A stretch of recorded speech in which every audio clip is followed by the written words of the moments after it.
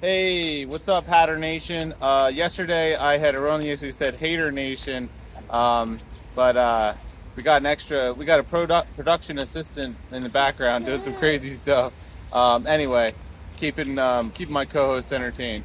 We're looking at about uh, two, maybe between two and four. We're gonna give you a broad range today. We got to go quick, but uh, between two and four today on the traffic in the Holland Tunnel.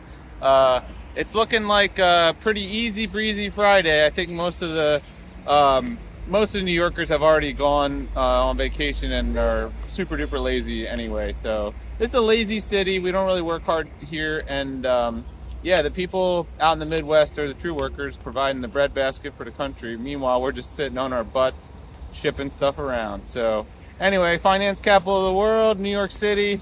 If you're going in today, it's going to be pretty easy breezy Friday. Uh, happy Juneteenth, and to all the fathers out there, happy Father's Day. And remember, drive safe. Ocean, you have anything to add?